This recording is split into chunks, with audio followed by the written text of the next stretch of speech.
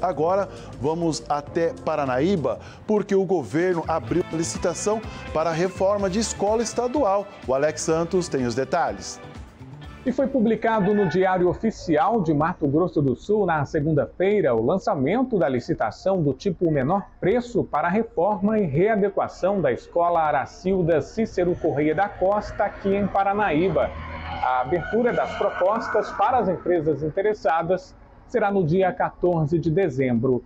Já os trabalhos devem começar no primeiro semestre de 2023. É com este objetivo que o governo do estado continua as reformas nas escolas da rede estadual de ensino.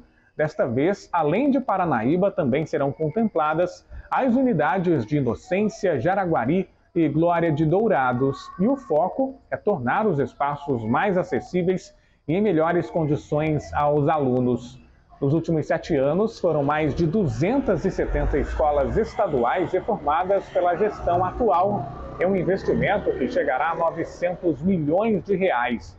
Com escolas mais modernas, haverá melhores condições para o aprendizado do aluno e um ambiente mais apropriado de trabalho, destacou o governador Reinaldo Azambuja.